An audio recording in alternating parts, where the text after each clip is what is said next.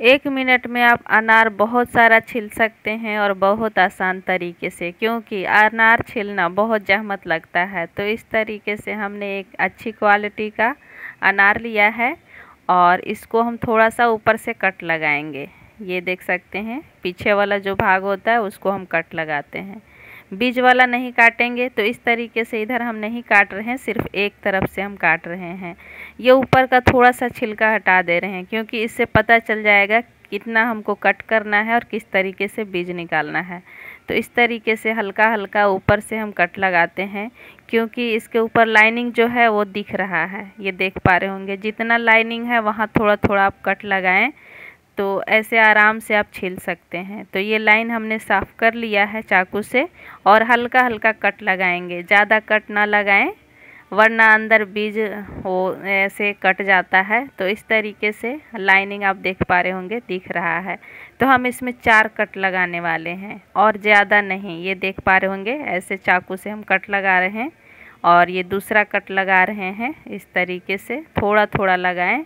ज़्यादा काटने की ज़रूरत नहीं है, वरना बीज भी कट जाता है। तो इतना हमने आराम से ये काट लिया है और हाथ से ऐसे दबाएँगे ना तो बहुत आराम से दोनों हाथ से तो ये आराम से निकल जाता है, देख पा रहे होंगे। तो ये ऊपर का जो है दिख रहा है उसको हमने निकाल दिया है और ये थोड़ा सा साफ़ कर लेंगे क्योंकि ये रेशे जैसा दिख रहा है तो हल्का सा इसको हम निकाल लेते हैं। ऐसे फ्रेश हो जाएगा।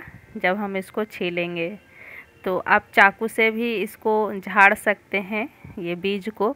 तो चाकू बहुत हल्का है तो इस तरीके से आप कितना भी करेंगे तो नहीं जल्दी होने वाला है। तो हमने एक बेलन लिया है, और बेलन थोड़ा वज़न भी होता है तो इस तरीके से हाथ में हम ले करके ऐसे ऊपर से हम इसके ऊपर मार रहे हैं धीरे धीरे ये देख रहे हैं, चोट लगा रहे हैं इसके ऊपर।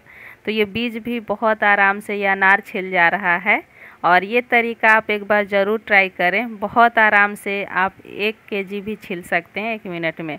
मेरी वीडियो पसंद आए तो लाइक और शेयर करें। सब्सक्राइब करना बिल्कुल ना भूलें हमारे चैनल तारा नूर मोदी केयर को और बेल आइकन को ज़रूर प्रेस करें, जिससे कि मेरी आने वाली वीडियो का नोटिफिकेशन मिल सके सबसे पहले। तो देखा आपने कितना इजी तरीका है अनार को छीलना। ज़्यादा जहमत भी नहीं लगता है। ये चार से पाँच दाने सिर्फ़ इसमें जो रह गए थे, बस इसी तरीके से आराम से आप छील सकते हैं।